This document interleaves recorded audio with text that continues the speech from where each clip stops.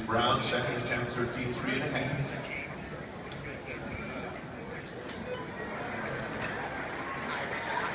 And she'll be the 11th, so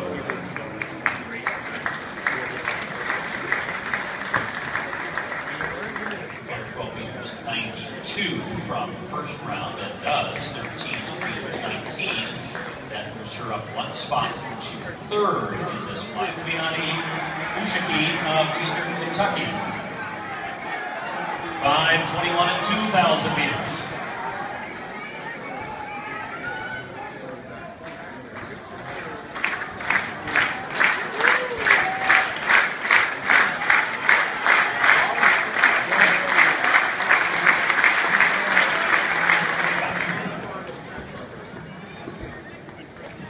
Direct your attention to the award stand as we recognize the top finishers in the men's high jump.